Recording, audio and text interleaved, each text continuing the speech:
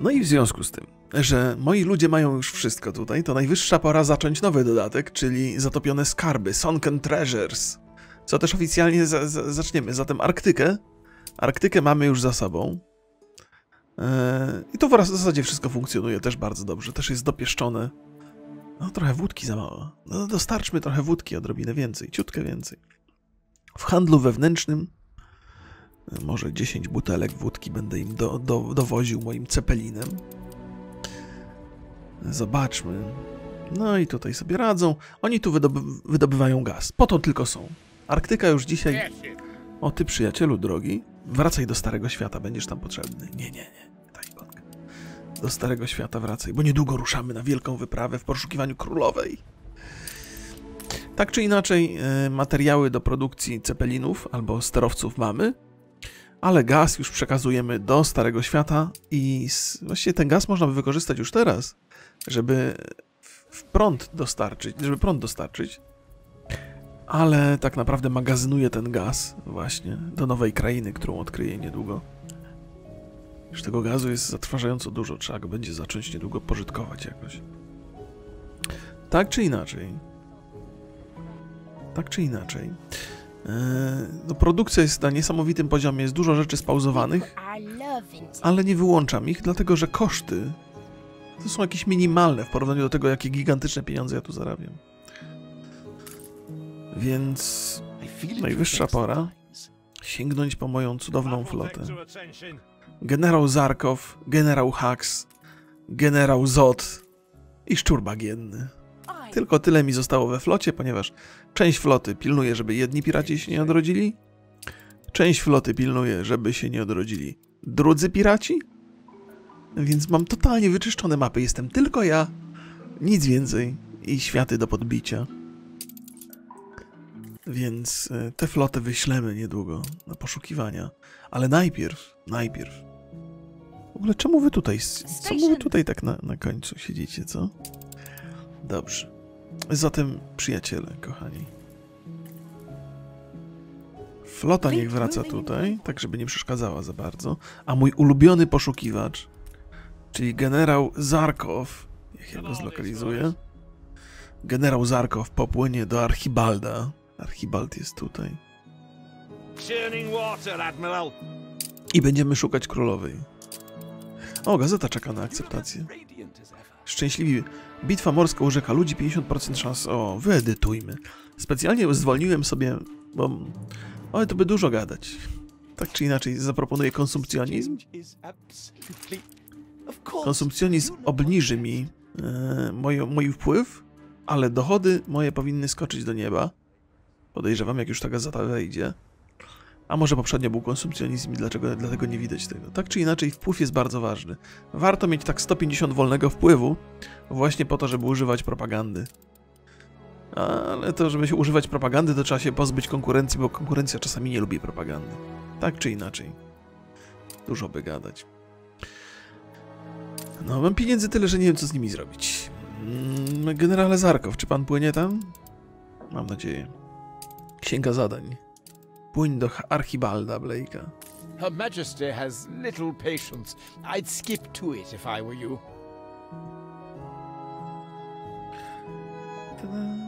Czy brak przeciwników nie osłabia trochę rozgrywki? Nie. Otóż, znaczy, utrudnia trochę.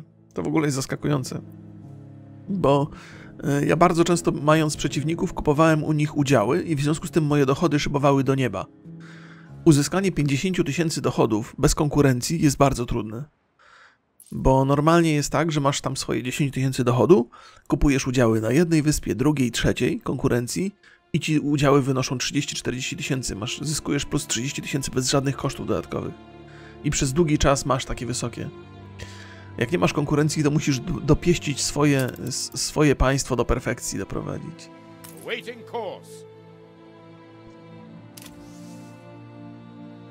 Co też oczywiście zrobiłem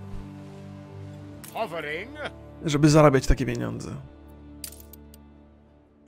E, no i to jest tak, że ja tak przychodzę sobie, odpalam sobie grę i, i sobie za, zarządzam tym miastem. Tak, tak wygląda moja gra. A co pan tutaj sobie życzy? Gazeciarzy muszę znaleźć, znaleźć i odebrać.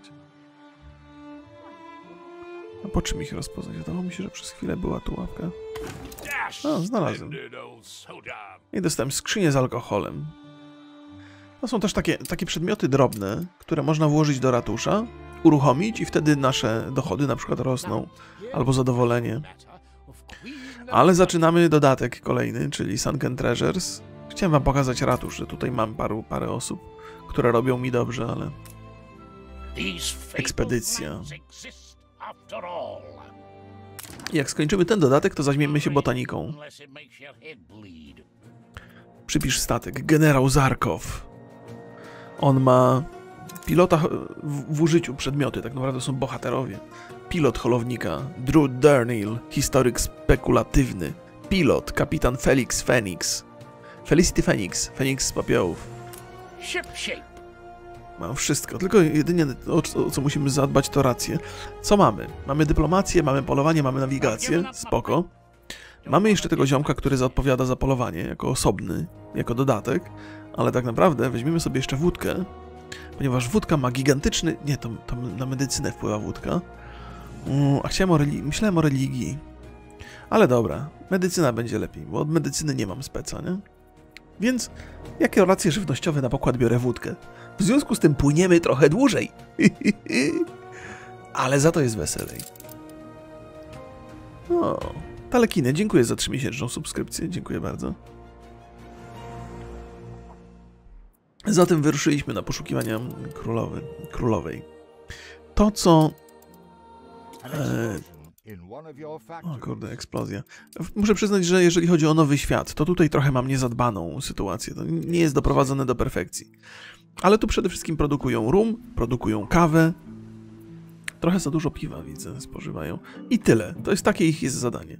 Rum i kawa. To, że są od czasu do czasu nieszczęśliwi, a wiecie, pracownicy na polu bawełny historycznie jakoś nie dbało się o nich specjalnie dobrze, więc nie mam wyrzutów sumienia, zaraz dostanę bana za rasizm. Bo to może być taki żarcik trochę z niewolnictwa, to niedobrze. Proszę Państwa, to niedobrze. Ale z drugiej strony jestem Polakiem. My, jako naród, raczej żeśmy nie, nie, cierpieli na nadmiar niewolników. Wręcz przeciwnie, to my byliśmy ciemiężeni. Więc myślę, że mam prawo tak, takiego żartu użyć. To, że jestem białym, uprzywilejowanym mężczyzną, niczego nie zmienia w tej sytuacji. Więc tutaj nie, nie jest to zadbane, nie? E, Tak, więc, więc, więc tak, no może powinienem, może w ogóle powinienem, bo ja tak e, na YouTube'a nagrywam sobie to e, i nagrałem Passage bardzo dokładnie. Teraz nagrywam właśnie Sunken Treasures i być może powinienem właśnie Nowy Świat nagrać tak i zrobić go tak do perfekcji, doprowadzić. Tylko problem polega na tym, że jak się ma dużo dodatków, dużo rzeczy, o które trzeba dbać, to, no to, no to, no to trochę to trwa. Bo ja tak mówię, że doprowadziłem to do perfekcji, ale ta perfekcja jest tutaj bardzo chybotliwa, nie? Że może być tak, że masz wszystko, a potem nagle gazeta opublikuje artykuł o tym, że były włamania albo pożary, ludzie są niezadowoleni, potrzeby rosną i nagle z fantastycznie działającej ekonomii jest dupa blada. I musisz, kurde, działać, poprawiać tutaj. I jak poprawisz to, żeby uratować ekonomię w tych takich czasach niepokoju, to potem nagle się okazuje, że masz nadprodukcję, kiedy czasy niepokoju miną i trzeba znowu redukować. I to... Sam wyglądam, sam opowiadam tak, jakbym yy, miał wódkę zamiast kawy, nie? Dzisiaj nie ma podcastu, Panie Michale, ponieważ Borys jeszcze nie wrócił ze świąt, jutro będzie. Specjalnie na YouTubie opublikowałem, yy, dałem informację, że nie będzie i mimo to... It is only logical to reward desirable behaviors. Czego tutaj pani inżynier? Ma dla mnie prezent, proszę. A co to za prezent? You reach the limits of the possible. Hybrydowe sadzonki kauczukow- kauczukowca. Czy co to jest? To pewnie powoduje, że kauczuk się lepiej co do związków zawodowych. Mam tutaj, Jezu, takie mam maszyny. Wszyscy cegielnie i fabryka betonu zbroje. Wydajność potrzeba siły roboczej. Festival has ended. Co my tu mamy? Zapewnio zapewniono żyzność kauczuk. Jeżeli posadzę to, attack. co się dzieje? A! Piraci próbują wrócić. Your harbor is under attack. Zaraz y, tam dopłyną. Po to właśnie tam trzymam tą taką umiarkowanie dużą flotę, znaczy małą flotę. Tylko gorzej, że mi tu po drodze ostrzeliwują przeciwników. Znaczy ostrzeliwują mi sojuszników. Bo sojuszników też mam te niezależne placówki handlowe.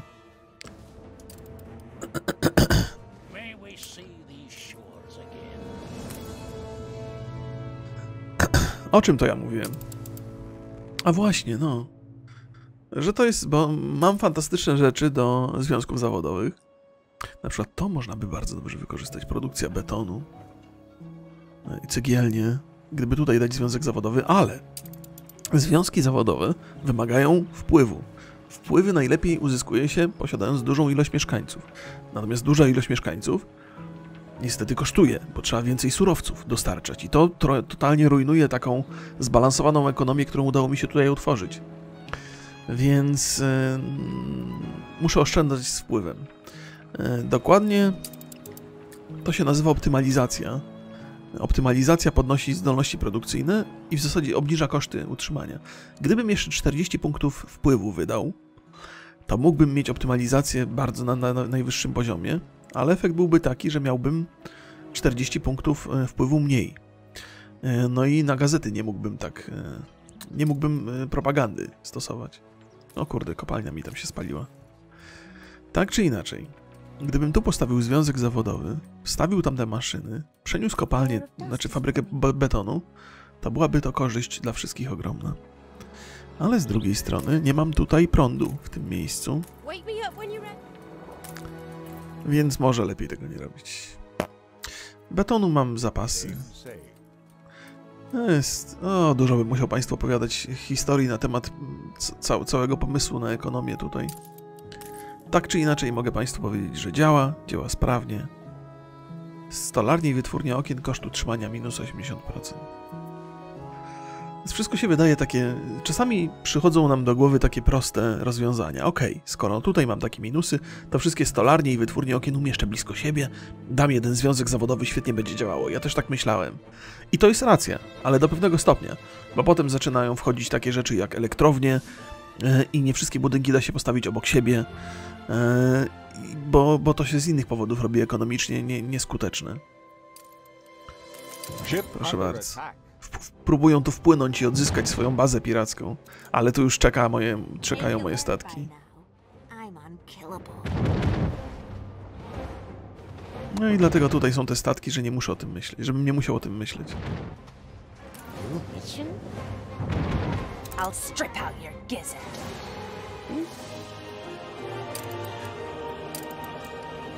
Tu mam wyspę zajętą, zamierzam ją oddać niedługo, bo zajęta wyspa też ogranicza ilość wpływu.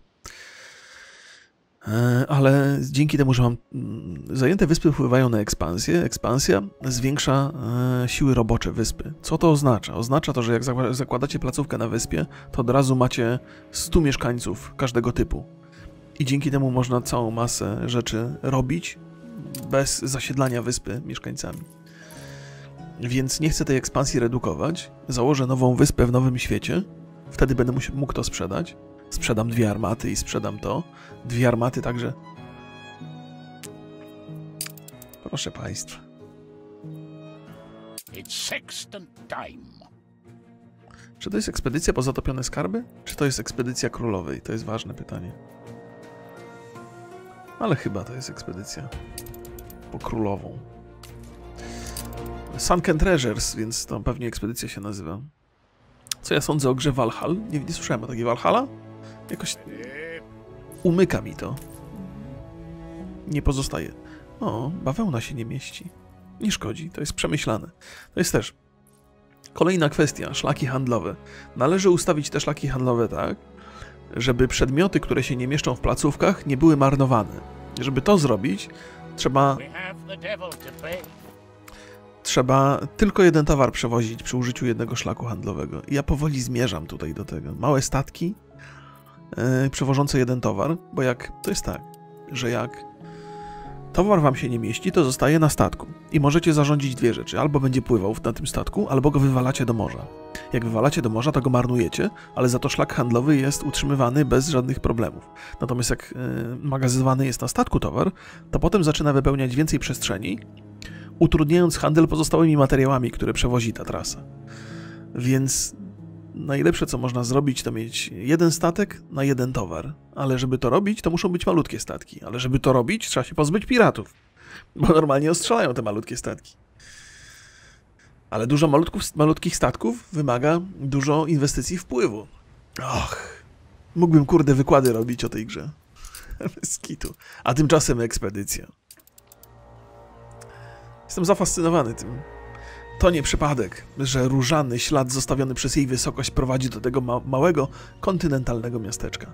Co sprawiło, że pokonała wąskie morze, pełne, pola pełne maków i mityczne doliny rzek.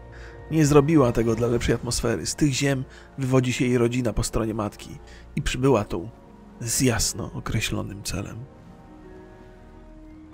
To królowa gdzieś tu musi być. Yy, musi być. No, dobra, to można tam różne. Szansa na sukces 45, idziemy w tę stronę. Nie musisz ich długo przekonywać, by podzielili się swoją wiedzą. To, to na temat królowej. Znowu dyplomacja. No już tak przeklikuję to, mi się nie chce czytać tego za każdym. Twoja znajomość dynastii teutońskich jest bardzo pomocna. No co my tu możemy? Medycyną? Znowu dyplomacja. Mogłem mu dać wódki. Walhall. No zobaczę kiedyś tam, przy, przy jakiejś okazji. No ja bym, żeby, żeby, ja powinienem, ja mógłbym robić tutoriale z tego Anno, bo to tak jak opowiadam Państwu, to znajdujemy się na takim skrajnie końcowym etapie ekonomii. Płyniemy dalej. Gdzie już y, nie ma konkurencji, gdzie już nie ma piratów, gdzie toczy się walka tylko i wyłącznie ze sobą. Teraz, to co mamy tutaj, to się toczy walka ze swoimi błędami ewentualnie. Że możemy coś przegapić, coś zrobić źle. O, znowu następny zadowolony.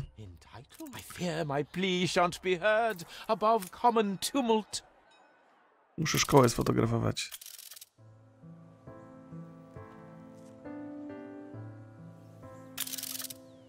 Nie widzę gdzie za bardzo. A mniejsze z tym. Zróbmy taki ładny. Najgorsze w tej grze jest to, że tryb fotograficzny jest dostępny tylko w misjach, że nie można sobie normalnie zrobić zdjęcia ani screenshota porządnego. A to jest cudowna gra, żeby robić zdjęcia i...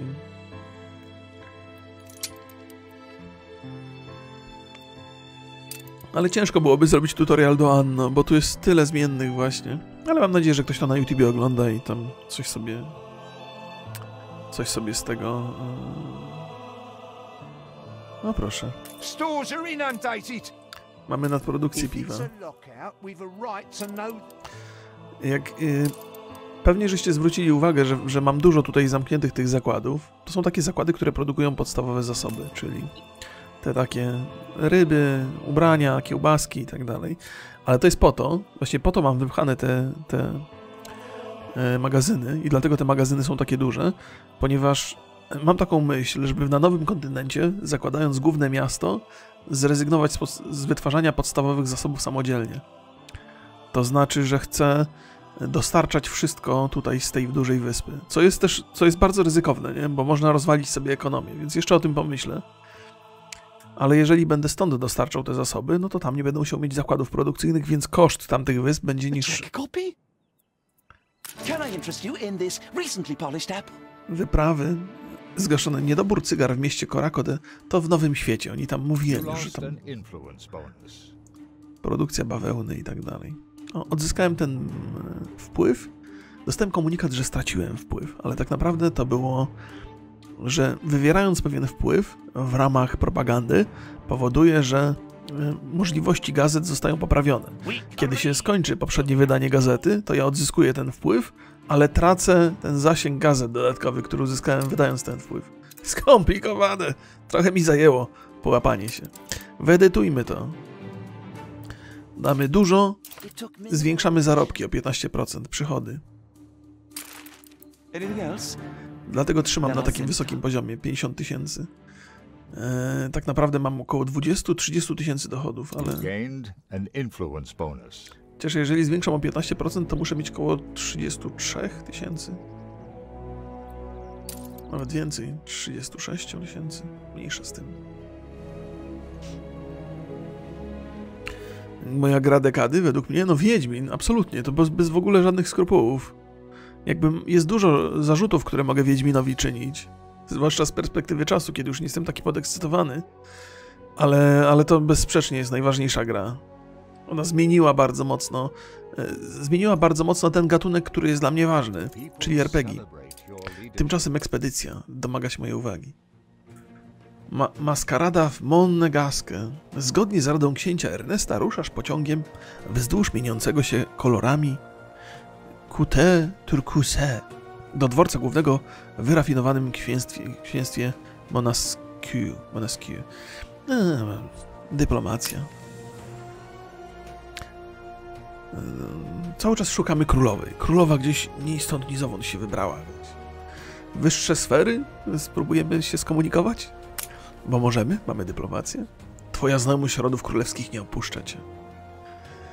Gdy w końcu udaje ci się dopchać do wyjścia w poszukiwaniu królowej, jej powóz jest już daleko, gestem przyzywasz następną dorożkę i wsiadasz do niej.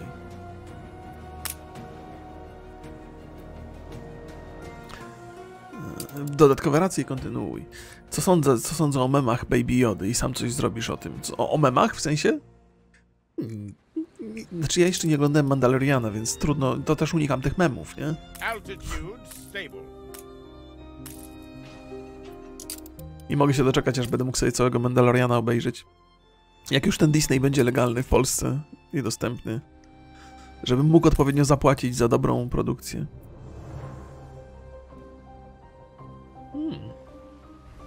Game saved. A tego nie chcemy. Wszystkie kopalnie.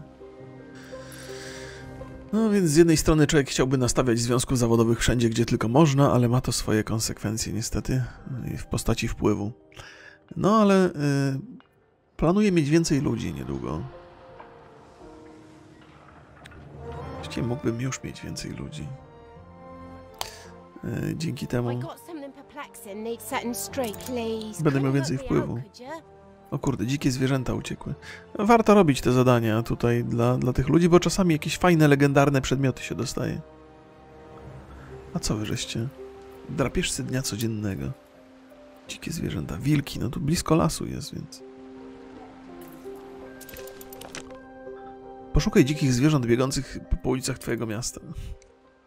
Wiem, że cywilizacyjnie jestem bardzo tutaj rozwinięty, natomiast część miast jest tak bardzo... Nie widzę tu dzikich zwierząt.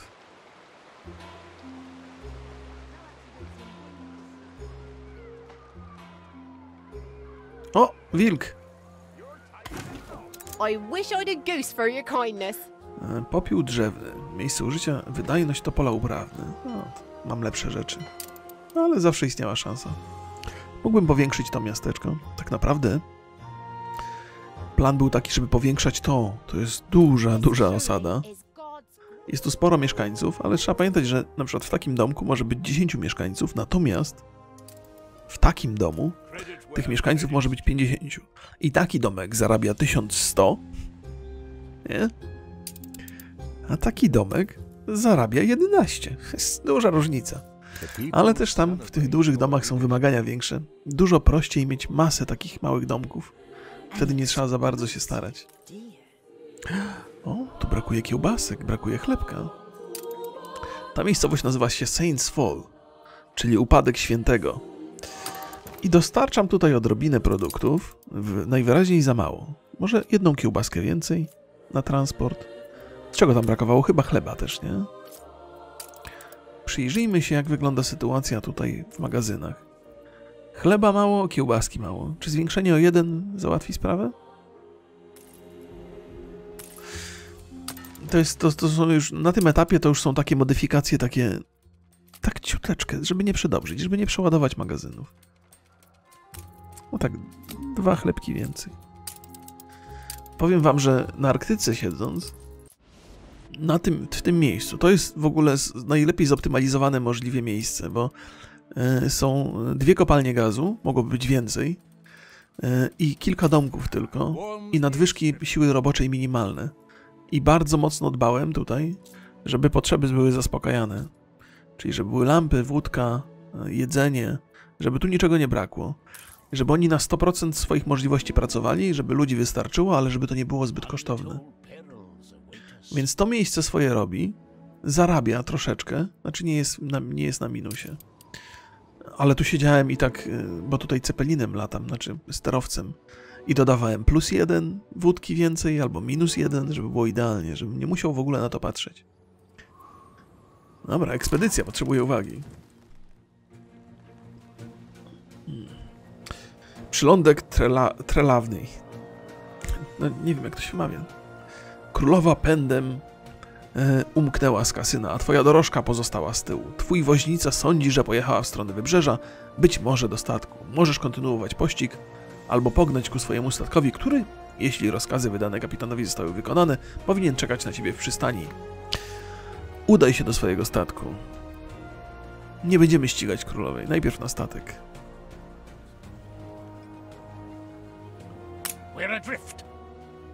Twój statek rzeczywiście czeka w przystani. Szybko budzisz kapitana wraz z załogą i każesz podnosić kotwicę. Wkrótce zostawiacie sobą mieniące się światłami Monesquieu. W następnej zatoce dostrzegasz z daleka imponujący okręt. Jak jej udało się tak szybko opuścić port? Możesz kontynuować pościg za jej wysokością albo wysłać jej przyjazny sygnał za pomocą lampy sygnalizacyjnej. Nawigacja, dodatkowa szansa na sukces 120, dyplomacja 45. Nawigacja, idziemy za nią. Patrzcie jak ja mam tutaj. Pum. 120% szansy na sukces, bitches. Twoje umiejętności sternika są imponujące. No ba. Woła do ciebie królowa, gdy podpływasz do jej okrętu flagowego. Znajdź mnie u przylądka Trelawnej. Trelau... Trilownej... Tri... whatever. Wreszcie masz okazję spytać ją, dlaczego uciekła. Mhm. Dobra, z... Nie minęło jeszcze 15 lat od stoczonej tu wielkiej bitwy morskiej, której admirał Nadaski pokonał siły La Korony. Runda honorowa czeka już na ciebie, a królowa wita cię na jej pokładzie z ciepłym uśmiechem. No Dobrze, zobaczymy, co tam królowa sobie życzy. U, odkryliśmy coś. I am not here to escape domestic dissatisfaction, but to address it. Our nation has lost its pride, but pride can be restored. This place, Trelawney, is the site of my father's great naval victory over our rivals, La Corona. We were the victors here at Trelawney, yet all the spoils remain in the lap of Poseidon. The scepter of Capon has long granted its bearers indisputable authority, but it sank to the depths, along with La Corona's fleet. I can still smell Father's victory here at Trelawney. It is his greatest legacy. Finding the sunken scepter of Capon, the trophy we never claimed for that victory, will remind us of our past glories and restore the people's faith in their monarch. We shall build a new capital of the realm here, perhaps call it Crown Falls, in view of the sparkling cataracts you see the island possesses. This may be my greatest legacy. Help me build it, and find the scepter, and I shall designate you Warden of Trelawney, my official representative in these waters.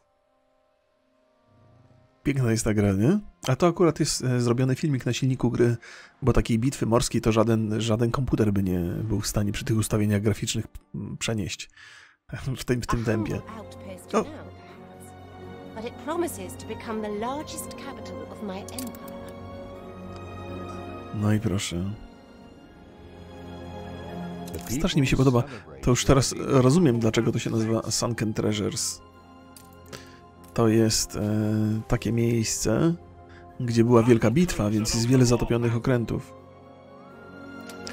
Ten obszar tutaj jest fantastyczny, jeżeli chodzi o budowę, bo to jest bardzo dużo miejsca. Chociaż widzę, że też... No ale tutaj, patrzcie, jakie połacie terenu do budowy fantastycznego miasta.